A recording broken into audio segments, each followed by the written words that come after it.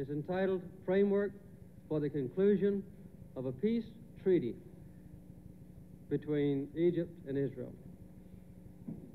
It provides for the full exercise of Egyptian sovereignty over the Sinai. It calls for the full withdrawal of Israeli forces from the Sinai. And after an interim withdrawal, which will be accomplished very quickly, the establishment of normal, peaceful relations between the two countries, including diplomatic relations.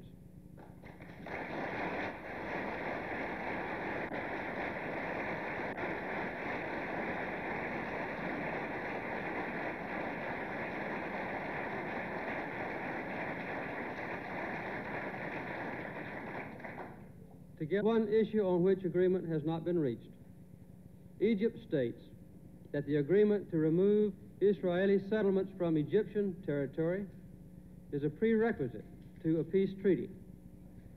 Israel states that the issue of the Israeli settlements should be resolved during the peace negotiations. That's a substantial difference. Within the next two weeks, the Knesset will decide on the issue of these settlements.